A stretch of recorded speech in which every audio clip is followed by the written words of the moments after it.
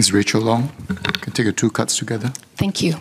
Chairman, one key demographic for outreach efforts on defense and security issues is our younger generation, our Singaporeans here.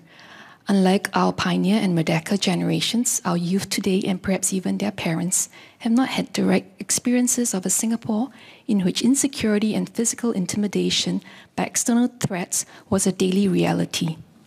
As the future leaders of Singapore, it is important that young people are engaged and understand defense and security issues to gain appreciation of the potential threats we face, as well as how these issues affect their lives and the lives of their families.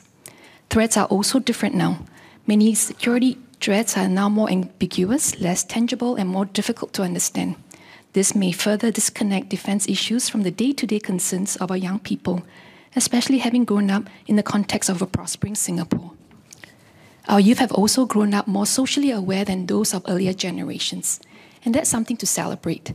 At the same time, this also means that there's an exposure of worldviews that may potentially fuel divides in civil society where worldviews may be applied without in depth understanding of the socio historical background and its larger impact on Singapore society.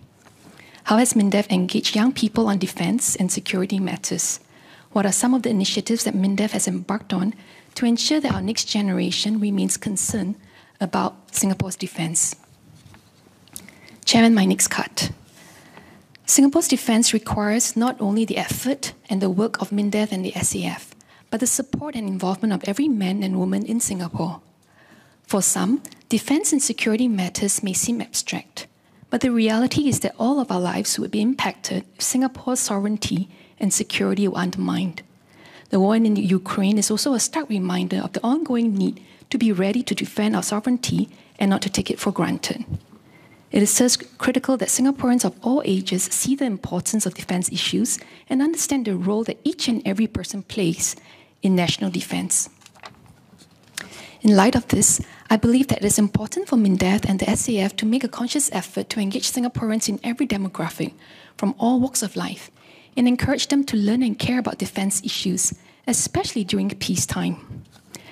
Last year, SMS for Defense, Mr. Zaqy Mohamad spoke about MINDEF's efforts to develop creative ways to engage Singaporeans on defense. An example, the revamped Singapore Discovery Center. He also shared that MINDEF would take on public suggestions to empower more Singaporeans to learn about defense issues. What are some of these initiatives and how have these outreach efforts progressed? How can we encourage Singaporeans from all walks of life to learn and care about defense issues? and also make these issues more accessible and relatable to the men on the street.